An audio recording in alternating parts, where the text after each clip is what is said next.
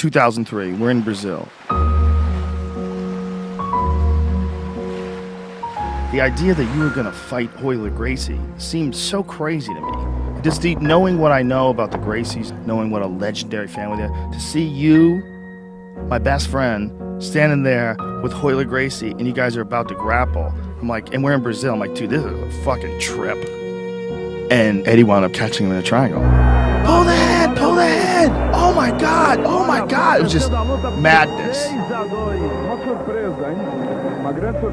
Like, oh shit, what? We, we couldn't even believe it. You tapped one of the greatest guys of all time. He's the legend. I can't believe I won. I can't believe I won. It was a whole new world opened up. So all of a sudden it was like, whoa, this is weird.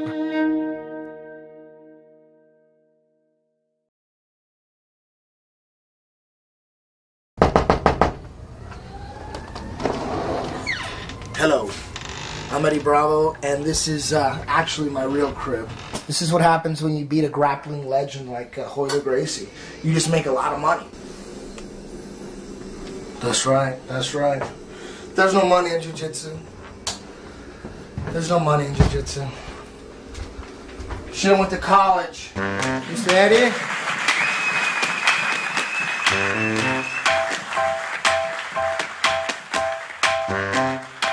And without no further ado, boom, hit the music.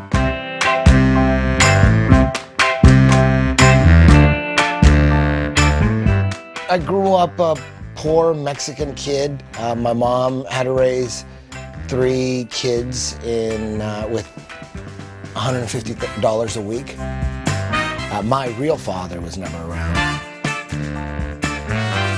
He had 18 other kids, so uh, he didn't have that much time for me. My dad wasn't around as a playboy, and my stepdad didn't like me. It's a big fucking deal. I don't feel sorry for myself. But it did shape me because as a kid, you don't know. As a kid, you're just like, fuck, nobody loves me and shit. I got obsessed with Kiss, early Motley Crue, early Iron Maiden. Started playing in bands. I um, wrote songs and everything. Got ready for a concert. Nobody showed up. And we broke up. And then I got really into speed metal.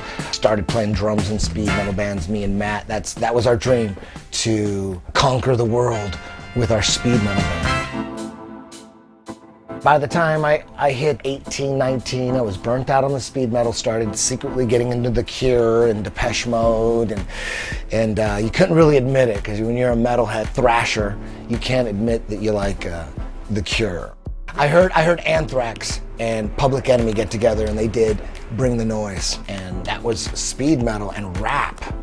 And I thought, man, there needs to be a band doing this stuff. I thought, I'm gonna move to Hollywood. I'm gonna sell my drums. I'm gonna play guitar and uh, put together a band like that uh, Anthrax Public Enemy collaboration, that little one-off. But more though, add synthesizer, electronica, synthetic drums, not just natural drums, just everything, but that was the spark. We moved to Hollywood, made the big move, so sure this was gonna make it. The band was called Black and Kill Symphony, very Nine Inch Nails influence, now we're 91, 92, and that was it. We were gonna make it. and uh, I wanted to look good on stage, for, you know, in, in, those arenas. So I uh, joined a gym. I remember seeing Yngwie Malmsteen, some a Swedish guitar god rock star, seeing him on stage, and he got really fat. I'm like, oh no, we got to stay in shape. So initially, I joined a gym. Last 10 minutes, I real quick I realized I am not lifting weights. I thought, okay, it, it's time to do some kung fu and, and, and time to, you know, because I was a big Bruce Lee fan, big, massive Bruce Lee fanatic. I started doing karate to stay in shape, and that was kind of cool. And then I saw UFC uh, 2. My buddy James, my music partner, the guy I went out to Hollywood with, comes up to me and goes, man, dude at Guitar Center said that UFC Ultimate Challenge thing was real, man. I go, it was real? It looked, it looked really? He goes, yeah, he said some, some Iranian choked everybody out. He was just grabbing him by the throat with two fingers and just choking right at the trachea. I'm like, what? No way. I go, what about karate dudes? Because I was doing karate. He goes, he beat every style. He beat every style. Fuck. Shit. I was so pissed. And of course, he was talking about Royce Gracie, the Brazilian.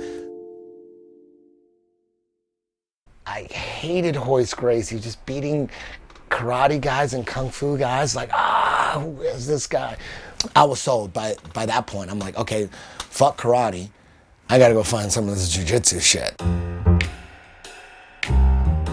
I remember seeing a jujitsu school in the Valley here in LA. So I show up to the school, I'm ready to sign up. Dude gives me the paperwork. His, his name was Chadwick Min. She was the head instructor that gives me the paperwork. I sit down, and uh, he goes, You came in a perfect time, class is about to start. They all come out, there's all these people. They have black though. I thought that was kind of odd. I'm like, always had white gi. Maybe this is a different kind of jujitsu. I'm watching this, the class, and they're not doing any groundwork. They're like doing like kung fu stuff. And I asked the head instructor when he passed by, I said, hey, uh, how come you guys aren't doing any ground stuff? Isn't this jujitsu? He goes, oh, you're talking about that Gracie jujitsu. Their cousins, the Machados, are here in the valley. You, if you want their number, and I didn't want to offend them. I'm like, oh no, no, no. I like, I like what you guys are doing. I like this. But in my mind, I was thinking Machado.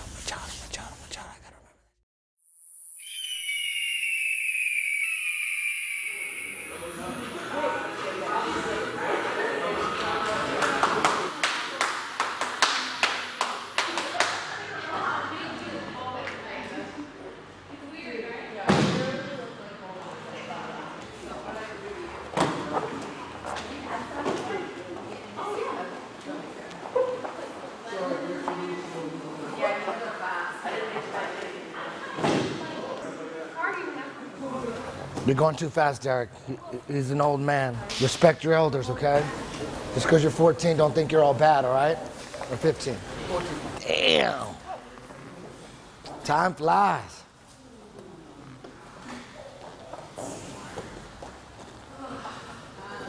And then master the roll. Feet up and then master the roll. Today we're to do three drills, all based on building posture. That's it just posture. So, um, Ray Ray, the first one, the guy on top, I don't want you to sit back for ankle locks. Uh, I don't want you to do anything, no submissions, no nothing. All I want you to do is stand up and totally disengage. Stand up and disengage. Ready? Posture, total posture. Sit, posture, leaning back. I, I was like, who's that fine girl just to watch? I saw the bun, I was like, damn. She live. I thought you were Mila Kunis when you walked in with your shade. She fine. Mila Kunis? Are you kidding? Ready? You know Mila Kunis is? Mila? She's the one from, uh, damn. She married Ashton Kutcher. Think about how hot she is. Think about that. Ready? Go! You know, when I first moved to Hollywood, my uncle Tony said, Do you know what the odds are? Goes, you could go to college, you're smart. And he goes, You know the odds of making it in music are like one in a million? I said, I'm that one in a million. And he was like, he was like, oh my God, go, go to Hollywood. And I went.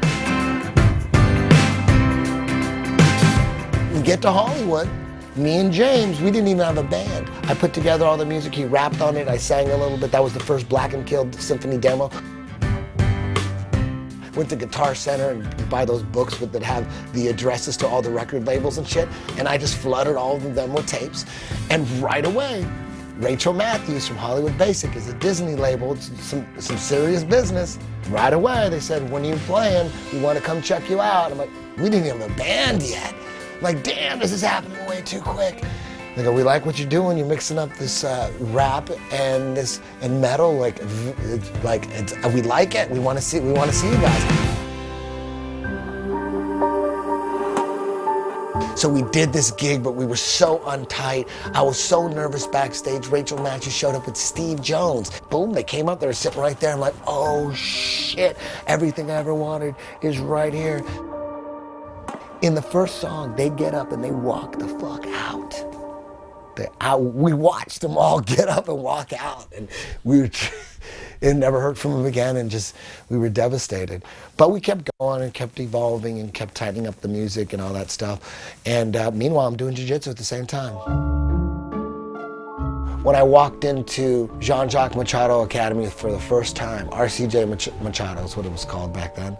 In the back of my mind, I was thinking, okay, either this is primitive wrestling because Royce didn't fight no wrestler, not in UFC one or two.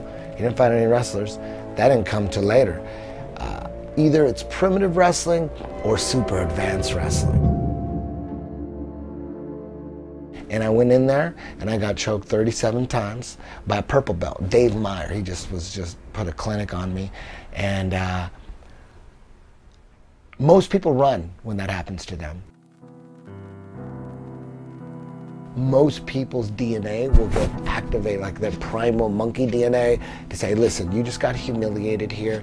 Everybody in here, you are the weakest one in this room. You need to get the fuck out of here and never be exposed like that ever again. Get out. That's what most most people's DNA says.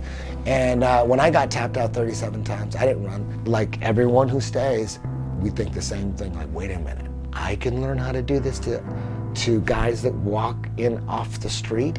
That was my first goal was like, whoa, I want to get good enough to do what you did to me.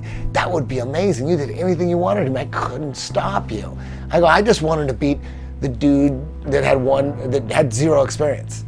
I wanted to be able to run a clinic on it. That was my first goal. If I could do that, because I knew most of the world was that guy. Look at this. Boom. What now? What now, Mr. Flexi Man? Oh shit. No, you didn't. Man, that was nice. Do it again. Let me see. Let me see. Were here. We just brought that thing all the way over. Hey, get it. Put yourself in a dead orchard for that camera right there. Cinch it up. That's a self-inflicted dead orchard right there. It's easy. Try it. You should be dead orcharding people right away too. This should be the stuff we were working on with Ben. You should jump in on that because you're going to be dead or you're going to be a dead orcharder. You know, you only a, a, few people can be do, dead orchard players. You got to be a long-legged, super flexible guy. You got to have long legs. I can't dead orchard people. Every now and then, if I'm rolling with a tiny person, uh, I can dead orchard, but I'm not a dead orchard player. Uh, you are, man. You are. I ended up tracking down the Jean-Jacques Machado Academy and uh, just got obsessed and got fell in love with it. But real, real quick, I realized that uh, when we're in the gym and we're practicing jiu-jitsu, the people on the bottom and the people on top, but for sure the people on the bottom are grabbing the collar and they're grabbing the sleeve and working off collar and sleeve control. Like that's their fighting stance. And I thought, hmm, how is that going to work in the UFC? How's this going to translate if they don't, if their opponents don't have collars and sleeves? Like really quick, I thought, and they could punch an elbow. That's a lot of stuff that's different. And really quick, you started seeing one, you know, Hoist caught everybody off guard Nobody was working on the ground and he just wrecked everybody. But when your opponent starts really learning what you're doing and, and addressing the situation and getting to grappling himself, then, be, then those grabbing the collar and grabbing the sleeve habits, that they're gonna matter and they do matter. And that's why even today, even today, all this time, even today, you don't see any Brazilian Jiu-Jitsu black belts with amazing guards, amazing bottom games. You just don't see it. You see bread and butter, basic, maybe hard to pass, good guard recovery, but no one is really attacking with any kind of system or anything. And that's because most Brazilian Jiu-Jitsu black belts, they believe that if they train in the gi, somehow it's just going to work out in in MMA. It's just going to work out, and it'll work out. The gi's going to make that shit better, and I don't believe that. Oh, damn! Doug should be throwing some head kicks. She just falls right to her back. It's good when you have a guard like Ben Saunders, but she's got a lockdown. Dogfight. Oh, look at that. She's gonna pass. She should be passing more. Oh no, Ben's here. We gotta go. Oh, Ben. Oh, you know what? We'll start when Ben's ready to Ben's. go. We'll start with Ben's ready to go. Five minutes.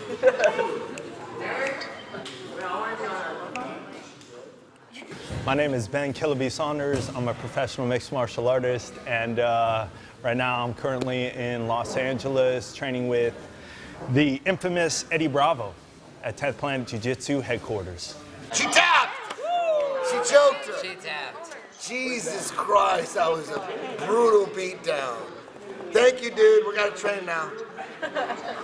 Uh, jokingly, I do say uh, the infamous Eddie Bravo because, in my opinion, man, he's been basically in the game since the beginning. You know, he had some some times where you know he he was on the foreground and actually commentating or giving his scorecards in certain UFCs, but above all, his, his uh, evolution of the jiu-jitsu side of the game understanding that for MMA or, or street fight self-defense situation, um, not taking hits is a big part of it. And on top of not taking hits, how to set up your submissions from the clinch game. Um, I believe his system that he created is uh, is absolutely brilliant. It's a it's a game changer in my opinion, um, and it really does make me feel like uh, you know I'm a part of evolution. Beautiful. That's it. Again. When I uh, started analyzing all this, I just started looking at okay, what is the best guard for MMA? What do you what do you have to do? First, we need what is first we need to shut down the strikes. How do we shut down the strikes?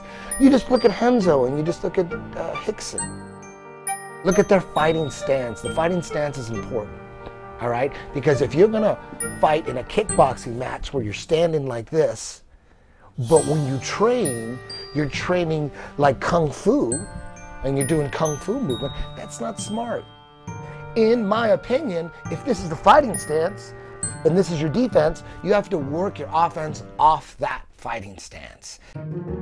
If you're training your jiu-jitsu for MMA, that must include your bottom game clinching as if they were to punch you. If you don't have sweeps off those clinches, then you're not going to sweep anybody in MMA, and that's why you don't see it. So that's where the rubber guard came from. That's where it was born from. That's where my my lockdown half system all stems from. It's all clinching to stop punishment, but moving from clinch to clinch, inch by inch, avoiding getting uh, damaged and setting them up to finish them or sweep them.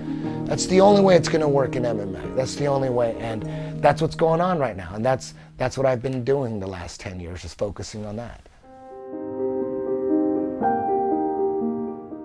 I tapped out Hoyler, and immediately I was like, miserable at my job.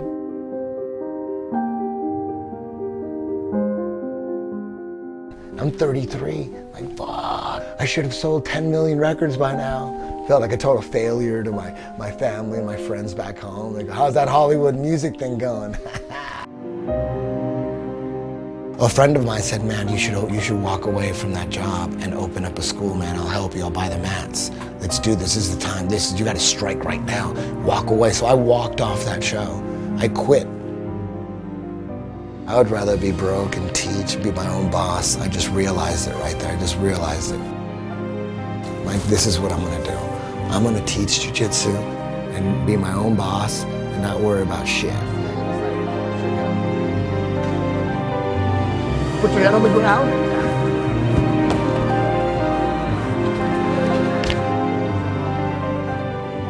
While all the jujitsu was going on, uh, Hoyler 2003, that blows up. 10th Planet was born, and then little by little, I'm adding schools and growing the association to now about 60 schools or some, something like that. Uh, um, the music never stopped. I've been producing music the whole time. The difference now is people know me through jujitsu. They, they know me as the sports dude. I appreciate everything that my my jujitsu has got me, got me off the grid, making all my money off jujitsu and teaching, and you know I'm, I'm my own boss. I, I love that. I love that.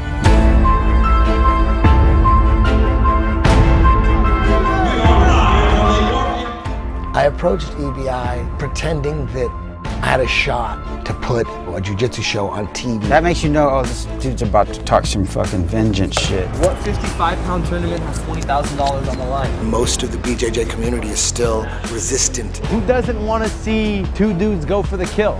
Kidding? This is EBI 5. And I thought, let me build an empire.